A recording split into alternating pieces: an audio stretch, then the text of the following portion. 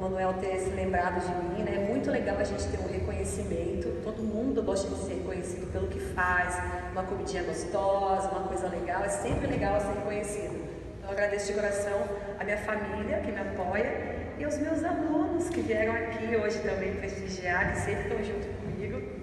E assim, se não fosse vocês, gente, nada seria, né? Porque esse professor de dança mesmo, a gente tem todo o envolvimento com os alunos, uma história diária, né? como você mesmo disse, de lutas, de ciúmes, de abraços, de choro, emoção.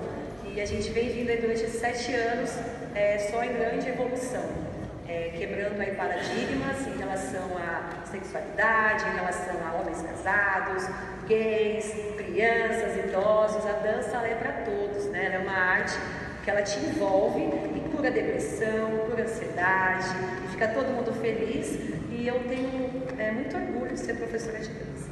E por esse motivo, é, eu vou fazer o que eu sei melhor, uma pequena apresentação de dança para vocês conhecerem um pouco do meu trabalho. Muito obrigada.